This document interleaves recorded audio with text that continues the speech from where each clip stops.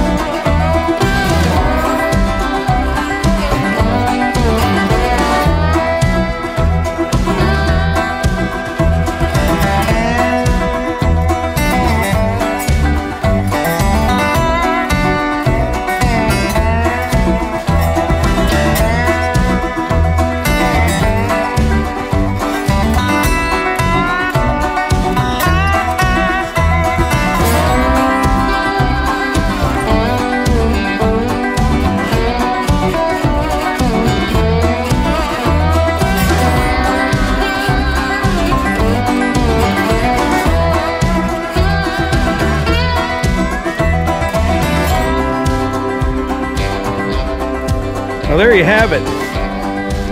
That made uh, short work of that. It took all but about 10 minutes. There's a lot of wood right there. I think I'm going to head up to the house right now. Uh, Melissa's got dinner ready. Then we'll come back down here, fire up the splitter, and do our part to produce more energy. All right, I just finished up dinner and I'm back down here at the wood yard. We're gonna split a little firewood before it gets dark. I try to get at least a little bit done each day, keep adding to the pile because like I said before, I run out every year, so the more the better. But I tell you, I just cannot get warm today. I'm all bundled up. I've got a long sleeve shirt on, a hoodie, and a coat. Now normally, even in the middle of winter, when I'm cutting wood, I'm pretty much just wearing a hoodie but the wind today is just uh, ripping right through you. We've had strong winds all day long. It seems like it's starting to die down a little bit right now, but once I get moving, I'll be good.